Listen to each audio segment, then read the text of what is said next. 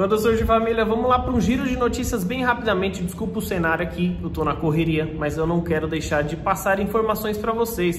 E eu quero começar falando sobre o retorno de um atacante, né? um grande jogador da categoria de base que subiu para o profissional, teve poucas oportunidades, foi emprestado para alguns clubes e é papagaio. Ele que está cumprindo ainda o doping, né? foi pego no, no antidoping, ele está suspenso desde 2019, não atua em uma partida e vence o doping dele no início agora de janeiro de 2021 e ele já poderá voltar a treinar com a equipe do Palmeiras. O Palmeiras que precisa de centroavante, pode ser até que brigue aí, entre aspas, na justiça para tentar uma liberação mais rápida dele. É um atleta que recebe do clube, que é cria da, da academia eu queria saber de vocês, vocês acham que ele merece uma oportunidade? Ele merece estar é, sendo incluído junto ao elenco para treinar e também jogar assim que for liberado junto à justiça né, do, do futebol? Essa é a dúvida que eu tenho para vocês. Então,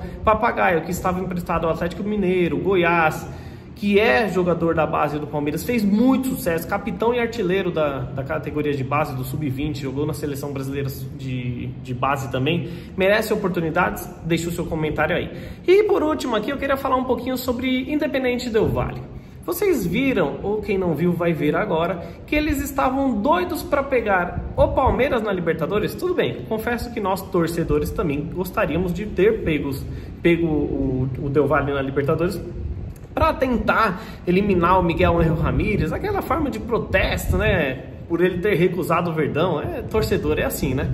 Agora, profissional, jogadores equatorianos e afins do time do Del Valle comemorando é, ter pego um adversário teoricamente fraco como o Nacional do Uruguai, que tem uma história gigantesca e faltou ao respeito com o Nacional do Uruguai, e a, a princípio também pedir o Palmeiras, porra, essa eu nunca tinha visto. Eu gostaria muito de ter pego o Del Valle. Olha aí o vídeo, eu vou deixar para vocês. No início eles ficam Palmeiras, Palmeiras, Palmeiras, Palmeiras. Eles queriam pegar o Palmeiras. E depois eles comemoram por ter pego o Nacional. Assista esse vídeo.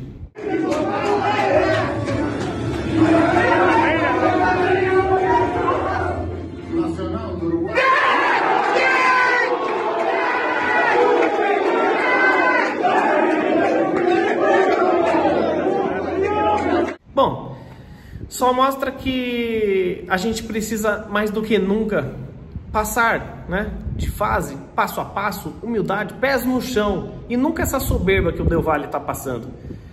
O time do Palmeiras ele pode não trazer uma credibilidade muito grande para sua torcida, para nós, mas a gente vai acreditar e torcer até o final para ver se a gente consegue o bi da Libertadores. Por que não?